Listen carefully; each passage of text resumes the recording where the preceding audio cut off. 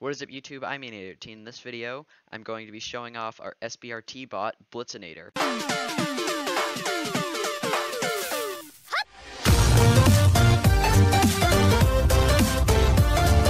So this is, I'm going to have a world download in the description. This is the world that you get. You get the bot, it's all pre-set up. You get a bunch of weapons off to the side, some walls to test it on, and this nice logo in the background. And here I have my teammate who helps me build this. Um, go subscribe to his channel. I keep saying this and nobody actually does. So here, the link is Any right, right in the description. Go subscribe to his channel. Okay, so here is how you pilot the bot. At the if you go all the way down to the bottom, there is this long thing. These are the engines. You can click the note block on any of these and it will move forward with a lot of lag. So basically these these are redundant engines. So if one of them blows up, they all the rest of them still function. All of the ones to the right of it will be disconnected, but you can easily just like build a quick segment to reconnect them. And the lag. There it goes. Because this entire front wall moves at once, so it is very laggy when it moves. And once everything is done moving, you can start um, shooting stuff. So first, I'll start. First, we'll start with. Um, first, we'll start with the three cannons. So to do these, you place um, 50 TNT minecarts. You can use your or actually you can place more than 50, but in our tournament, the rule was you could only place up to 50. So you place a bunch of TNT minecarts on this block, and usually you'll be standing here, and then you can pillar up with T with three TNT, and you play you place three TNT like that, and then you can click once, and then twice, and it uh it shoots. Sometimes some of them do break things, but you can just place them back. So yeah, that's how you fire the three cannons. These are good for destroying these are good for destroying easy, like, small, like, breaking stuff that's in front. Because our bot, we have a lot of stuff in front of the netherite wall. So, you sometimes you need to break that if you want to break the netherite. And then once, you, once you've broken through, you can go in here, and you can break this redstone block, and it'll fire this missile, which will go and break netherite. And say it hits a netherite wall, it'll blow up, and it will make a small hole in the netherite. And then once you have that, what you can do is you can come back, you can go back inside the bot, and here we have, which one did I fire? I fired this one. So here we have a 50 shot cannon. Here, Nova, why don't you uh, place the TNT? I'll place the minecarts. So you place a bunch of TNT minecarts here, same as same as the other one. But instead of just placing three TNT here, you have to place a ton of TNT here. Because what that does is this flying machine comes across and ignites all of the TNT. So then, it, and then it all drops down here, and then when the minecarts blow up, it launches them out through this hole. So once that's all loaded up, you can come around, you can come around to here, and you can click this note block, and it will fire the cannon. Boy, here we go. Here we go. Oh, there it goes, and it shoots and blows up whatever is over there. Usually, it, you would want to be firing it through a hole in the netherite that you created with the missile. This cannon does break this one terracotta block here, but you can just place it back. There are 20 of these cannons throughout the whole bot, and they're all color-coded to match the corresponding 3 cannon that goes behind them. That way you can know which 3 cannon you fired and which 50 cannon it goes along with. There are a few duplicate colors, like on this side there are orange there are white, orange, and black, and on this side there are also white, orange, and uh no, it's just white and orange, so they are duplicates, I think. And then um so yeah, those are all color coded. And then if we come up here, there is a ghast cannon. To operate this, you hit this note block and it just comes up. Make sure you don't move when it's up. Only move, you can retract it back down by clicking this. And here Nova's going to show you how to operate it. Basically what you need to do is you need to move to the left or basically when it fires a ghast, you step to the side opposite of where you want to hit it, and then you punch it to the direction. You have to step to the side so that the fireball doesn't hit you. Here, try to hit me. Try to hit me. What was that? You're in like creative mode. I don't know. Literally does no damage. If you're if you're not careful, you can get hit with it, which can be bad. So just try to avoid Uh, that. It's Stop easier. moving. I'm trying to hit you. It's easier. I'm trying if- to murder you. It's easier if here I'll go in survival. It's easier if you ha- to do it if you have sound on because you can hear when it shoots, so you know when to step to the side. But I guess you could if you like need to play with sound off. I didn't even hit that one. If you need to play with sound off, Oh no!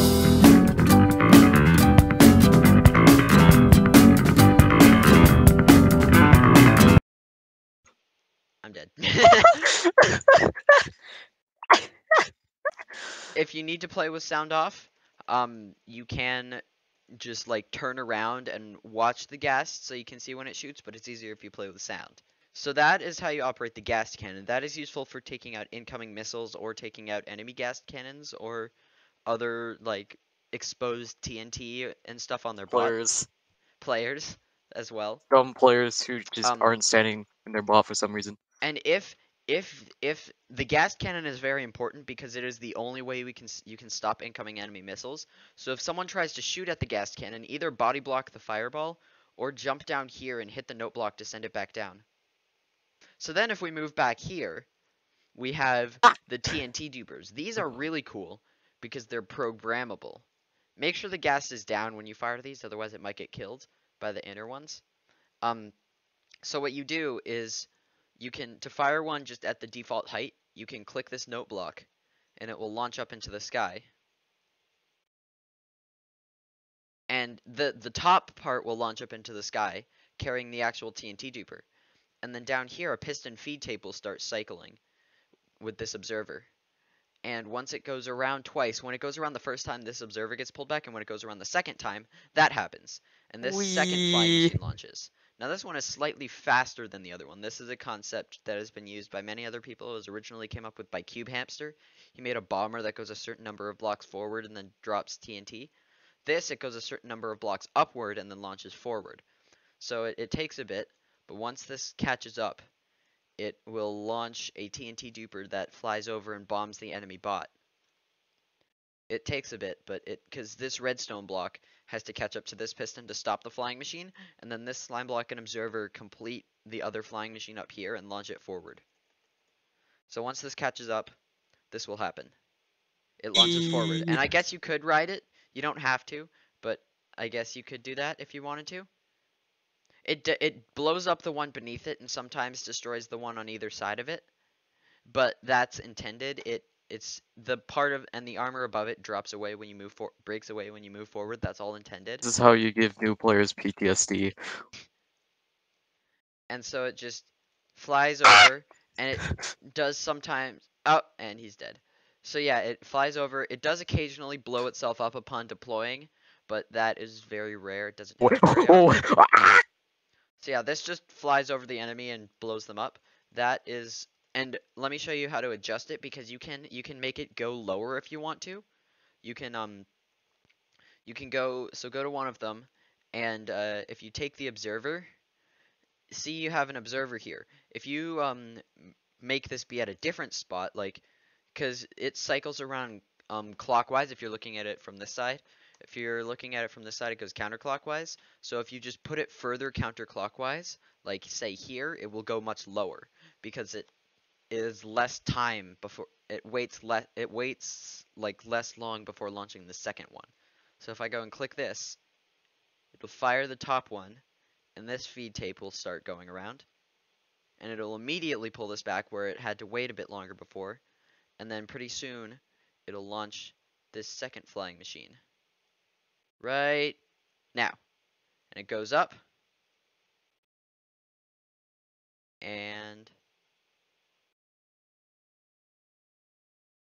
then it keeps going and eventually again why are you summoning bees It's one bee.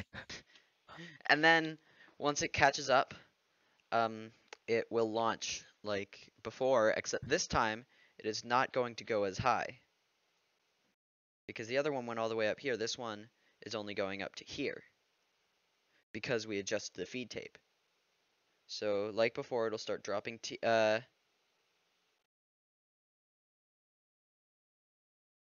think it broke. Yeah, Because on my screen it didn't break. Wait, what? It's still dropping. Wait, the TNT, the TNT's gone. Yeah. That's what I meant. Probably because I put so many bees in it. Okay, so yeah, that does happen occasionally. No. It does occasionally break, but that's just a demonstration of how Hey, you, look. can, No. how you can launch it lower. Um, there is The- there's one more weapon left. It's um this. It's these are very similar to the other cannons. They shoot 20 TNT instead of 50. So you just again place TNT minecarts in here, and then once you have a bunch, you take your TNT, and this time you only place it one wide. Um, this this one I made first, and then I upgraded it into the other one. So you just place this, and then when you're ready to fire, this time the note block is over here, and you don't have to. These ones don't have anything in front of them. Um, they're just a straight shot out of the bot. They're just meant to clear any anti-missile defenses or other things like that. And then you just so you just press this, and like the other one, it fires. And so yeah, those are all the weapons that, and you can move again after firing. The top of the armor at the back is gonna break away if you fired the dupers. Um, cause yeah, that's just what happens. So when this when these top when this top roof moves moves forward, you'll see it'll get left behind. Lag. Real lag, that's when the whole front wall move forward. So all this starts moving forward, and only a little bit of the back wall is breaking off this time. That's unusual. It usually like breaks a lot of it, but this time it actually mostly survived. Only this one little You didn't part. fire the other dupers. Yeah, no, but usually when you only fire one, it like destroys the. Oh, and over here, a lot of it broke, even though the duper didn't even work.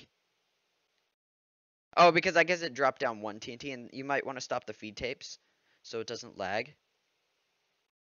You can just do that by you. Sometimes the feed tape will be destroyed, so you don't even have to do that. But in the case that it didn't, you have to. You should press the note block again. Um. So yeah, that is all of the weapons of the completed bot, and then over here, we have some individual weapons. So this is the netherite breaking missile. It is very cool. You just you update this piston and it'll start moving forward. And how it works is there are these sticky pistons at the front, and when they hit the wall, they will start grabbing. They'll start grabbing the blocks like this. Later. Later. I have a, I have a pet. and then name once, is this, Doof. once the like, TNT uh, blows no! Once the TNT blows up, it leaves this nice 2x3 hole in the netherite wall. This is useful if the enemy has netherite armor.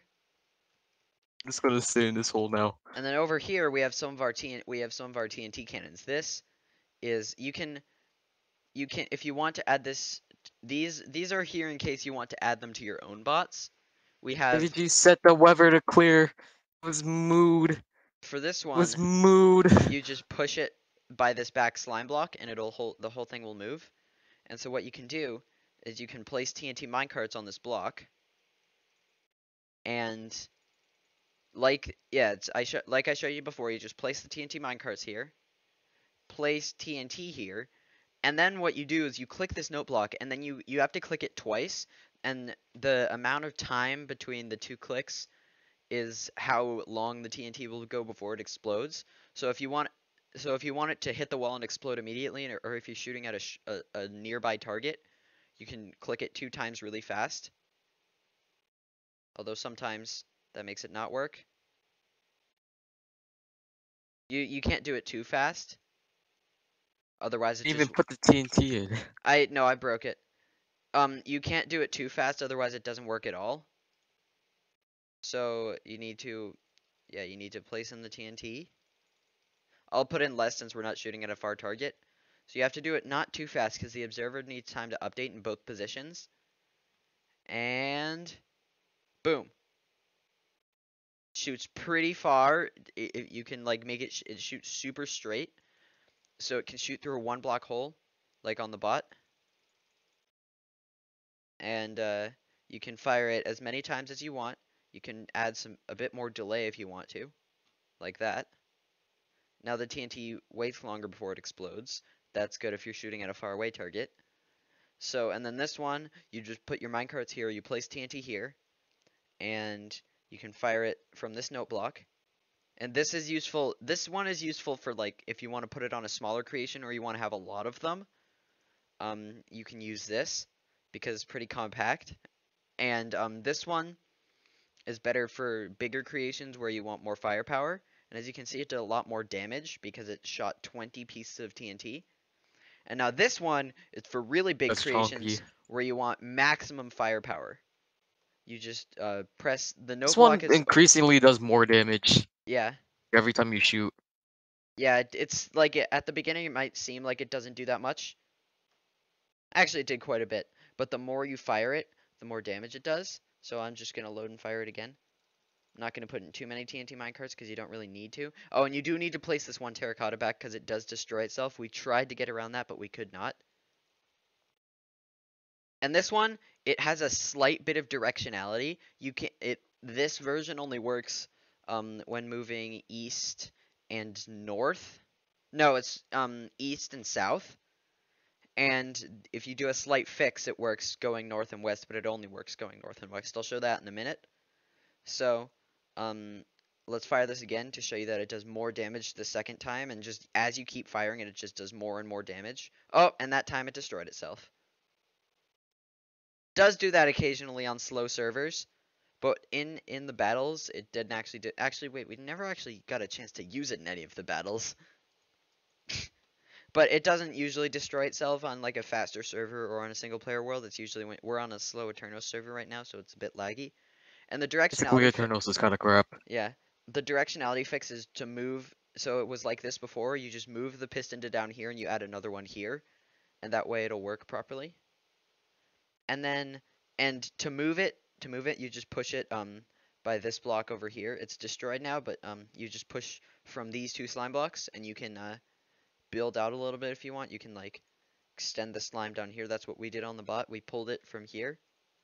Um, and then for to move this one, you push it by this big segment on the back. There's a lot of spots you can push it from. It's this big wide segment and it just moves the whole thing. And then finally over here, we have the duper weapon. This thing is really cool. It's not as good as some of the ones that the other bots had, but it's still very cool. For ones have three wide. Yeah. But you can you can move it from here. You move it from you push it from that block and it moves the entire thing forward. Takes a bit to move because there's some complex circuitry down here. And so I'm just gonna briefly explain how this works. Um, when you click this note block, it um, activates this observer, which um, fires which activates this piston, which fires this upwards flying machine, carrying a TNT duper that is disassembled into two parts. We have one part over here and another part over here. And then down here we have a faster flying machine, but it doesn't get activated yet. What happens is this observer also, um, it also powers, um, oh yeah, there's also an, this note block powers this observer, which powers this observer, and it just, it's this big observer chain, which updates this, which powers this trapdoor, which powers this observer, and the observer powers this block, which powers these two pistons. And so that's just a big long movable wire. Those are really useful. Um, it just, yeah, it's just this big movable wire, and it pulls this redstone block. And what that does is it starts this feed tape. This is a feed tape design made by Cube Hamster. I made some slight adjustments to make it smaller and fit in better, but it, for the most part, is Cube Hamster's design. It's a very good design. It, uh, you, it pulls this back, and this starts, and it activates this clock, which starts cycling the blocks around, including this observer. And this observer moves around and then as it gets past this as it passes this solid block it powers the sticky piston. And the first time it does that it pulls this observer back to here. And then the second time it does that it pushes the observer back to here and it activates which powers this piston and causes the flying machine to launch upward and catch up with the other one that's launched. And again to adjust it you just move this observer and you replace it with a regular block and you move it somewhere up here. And the further over here if you really wanted it to not go very high, you could put it like very low, like down here. Or if you really, really wanted it to go super duper low, you could um make it. You could move this observer to start here, so it only needs to cycle around once, and then put the observer wherever you want accordingly. I'm gonna do that. I'm gonna make it go super low. So we're gonna launch it, and you launch it just by pressing this observer. It's easy enough, and it just uh this part moves up by itself, and then eventually this part moves up by itself. And we did a very small delay here. I don't know what Nova's doing. and so this time it's not going to go very high, it's going to catch up very quickly. Oh, it's going to get bombed! oh, it's the What do you mean? wait, wait, move it back. Wait, no, no, move no. it back. No, keep it. No, keep it. Keep oh, it. move it back. No, I'm keep moving it. it. back. Keep it. I'm moving it back. I'm. Oh, whoa, oh. No, I. No, no, no, no, no, no, no, no, oh, oh, oh, no, no, no, no, no, no. Oh gosh. Uh, you sort of saved it. I was moving out of the way because I realized this is so close to the other like cannon that if this if if the ca- other cannon fired it would break that but now I realize that 50 cannon So yeah, can't this even just fire this just drops TNT down, and it will just it'll land down here and blow stuff up. And this this grave has been disgraced and so yeah, you can are use you it. like this You can use it to fly over the enemy and bomb them. Um, very useful for that. And it's just it's just very like easy to use and easy to adjust. And yeah, that's how that works. Um, so yeah, these are all of that's all of the weapons. The ga there is the ghast cannon, but the ghast cannon is very specific to this, so I didn't I didn't separate it from the bot. It's you can make something similar if you want, but it's it's very this particular design is very specific to this bot and this armor and stuff. And this is also very easy to use. You just this note block here just moves it up and down. We just have a flying machine and it gets stopped by this piston. This is a really cool thing. This piston does two things at once. It acts or actually it does it does three things at once. It stops this flying machine from going up. It stops this section from when you send it down, it um it blocks this fence post so the section can't be pulled down anymore so it doesn't get pulled down here. And it also it also pushes this segment forward. So when you move forward, this redstone here, I'll I'll move it so you can see. You just I'll just uh activate it so you can see. Um when I come back up to this thing, you'll see that this piston depowers, moves closer to this, and then powers again. Takes a bit, but uh Oh, you weren't really able to see it because of lag. That's okay. But you get the idea. It just it gets pushed forward by that piston. And so yeah, this world download when you load it up, you'll just spawn right here overlooking this beautiful logo. And then you can come down, you can use the bot, you can copy some of this stuff, and I will include individual schematics for um, all of the weapons and for the bot. Uh, they will be saved with Litematica, so they'll be Litematic files. So you just you can load those in with the Litematica file and build them in survival or paste them in your creative world or on a server or something. Just do whatever you want. And you can include any of these weapons in your own bot. And so yeah, that's Blitzenator. Okay, so future Enator here. Um, I recorded the video yesterday and I edited most of it today. And I realized that I actually forgot to show you guys how to how to set up the schematic after pasting it in. So I'm going to do that. So you just load it. I'm not going to show you how to use Litematica because that's there are plenty of tutorials on that. I'm just oh wait, wrong schematic. I'm just going to show you how to set up the bot after pasting in the schematic. So I'm just going to grab the schematic real quick. It's here. I have so many Litematic files. Okay, so I'm just going to grab my Litematica tool and paste. Um, here we go. We have the bot. Gonna remove this. So you're gonna want to have world edit for this. You want to uh, you're gonna want to go over to two of the corners. This one has to the ones with gold blocks. You click one of them. You left click one of them, and you go to the other one, and you right click the other one, and then you do replace. This is really important. This the order of doing this is really important. You have to do slash slash replace furnace air. You need to do furnace first, and then slash slash replace blast furnace air. Because if you don't, this hole gets messed up because there are some furnaces here and they cause it to update and it's it's a whole thing. So just make sure you replace furnaces with air first and then blast furnaces. And then you just you grab some regular minecarts and uh, and you place them here. And then um what you, and then the tricky part is getting the ghast in here. So what you want to do is you want to just like get a block. It doesn't matter, just any block there. Get a rail, minecart, ghast spawn egg, and this can be a bit tricky. Takes a few tries. I just have my Herobrine sword here so I can kill it if I mess up. So I spawn the ghast, and you kind of just shove it into the minecart. And then it, it's okay if you don't get it first try. It's a bit tricky. You grab your fishing rod, you break this block, and you break this block and the ghast will fall down. And then you want to grab the minecart. Make sure you grab the minecart and not the ghast. And then you pull with the fishing rod. And if it doesn't go all the way, you'll do it. You'll know it's in the right place when it fully sinks into the spot. Like that. So now it is now it is on the spot and you can send it up and down with this note block. So that's the trickiest part of the setup. But once you get it done, you only have to do it once and the bot's all set up.